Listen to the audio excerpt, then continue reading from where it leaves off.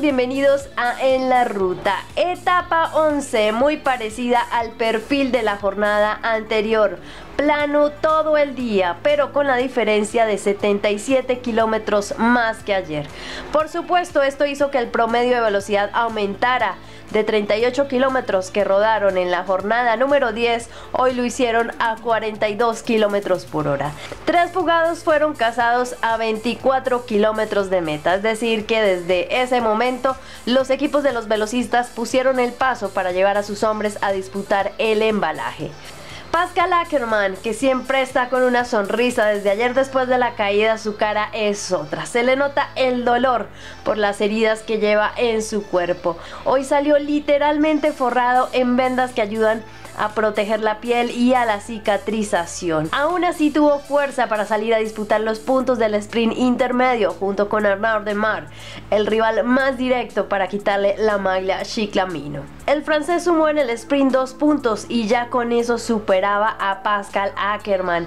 Recuerden que ayer quedaron a 155 y 154 puntos respectivamente. Luego en el sprint final Ackerman se lanzó desde muy lejos y lo que hizo fue ponerle rueda a Caleb que con set de victoria sumó su segundo triunfo en este Giro de Italia y le respondió a su equipo, el Lotto Soudal, que durante todos estos días de trabajo en plan y de etapas para velocistas lo llevaron bien protegido y lo ubicaron ahí adelante para que hiciera su trabajo de rematar frente a los más veloces de este Giro de Italia. Ahora la clasificación y la disputa de la maglia Chiclamino está en jaque porque al quedar Dimmer segundo en la etapa de hoy sumó 40 puntos y se subió al liderato faltando una sola jornada para los velocistas que será en la etapa 18.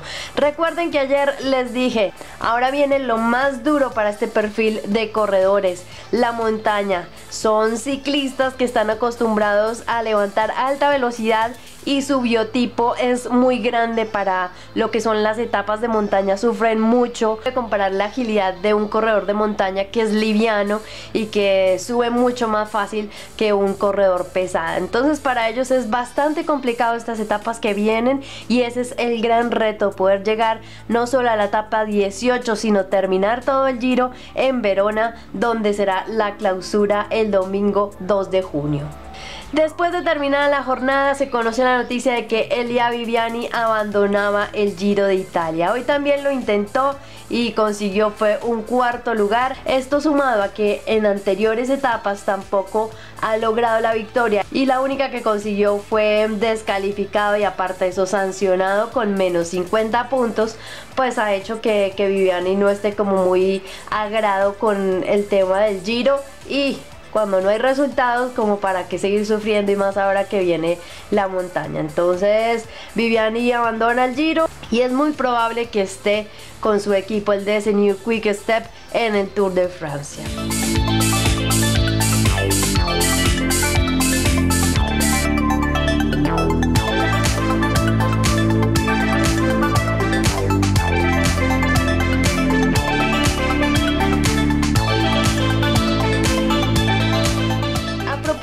Ganador de la jornada, Caleb Iwan. Ustedes sabían que en Colombia se consiguen las bicicletas del equipo Lotto Soudal.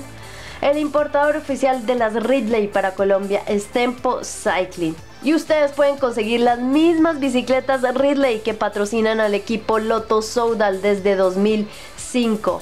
Esta es la bicicleta con la que corre Caleb Iwan, la más rápida del mercado y ustedes la pueden conseguir en la versión con freno de disco o con freno convencional. Para los escaladores está la Helium SLX.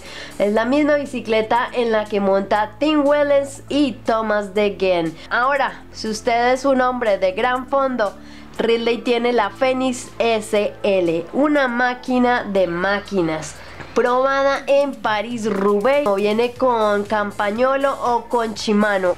Ustedes deciden cómo quieren armar su nave de bicicleta. Si quieren tener más información, vayan al Instagram de Tempo Cycling, que es el importador oficial para Colombia.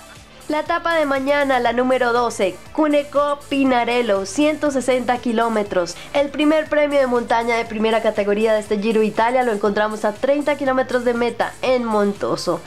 El final de la etapa 12 termina en descenso, así que los hombres especialistas en la fuga pueden estar dándole una sacudida a la general. Y más que Valerio Conti ha estado ahí como tan cómodo en estos últimos seis días, los que están ahí encabezando la general provisional podrían dar un gran salto y meterle miedo al Emiratos Árabes Unidos y bueno, lanzarse por esa maglia rosa temporal mientras llega la verdadera montaña y los que están dispuestos a disputar eh, la final en Verona pues ceden un poquito de terreno. Entre ellos puede estar el Movistar con dos fichas claves, José Joaquín Rojas que está en el cuarto lugar a 2.33 o con André Amador que está sexto a 2.39.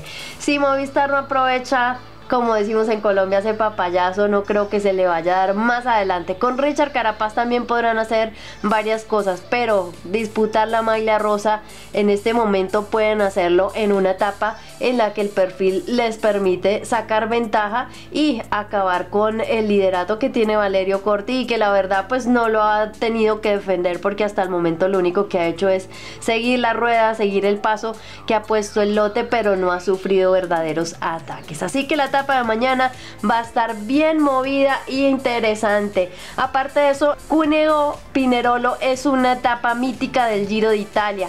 En el Giro Centenario la hicieron, pero es completamente diferente a la de este año y también es completamente diferente a la del año 1949, cuando Fausto Coppi se consagró al partir a 56 kilómetros de meta, faltando 196 kilómetros por delante. Le faltaban nada más 90 kilómetros de ascenso y a la meta llegó en solitario sacándole 11.52 a su rival más directo de la época que era el también italiano Gino Bartali. Ese fue el año en el que ganó Coppi su primer giro y luego ganaría también el Tour de Francia. Entonces fue el primer doblete de dos grandes en un mismo año que estableció Fausto Coppi y bueno, Pinerolo también es famoso por esa historia. Gracias por acompañarme, nos vemos mañana con el resumen de la etapa 12. Esto es Giro d'Italia, Amore Infinito.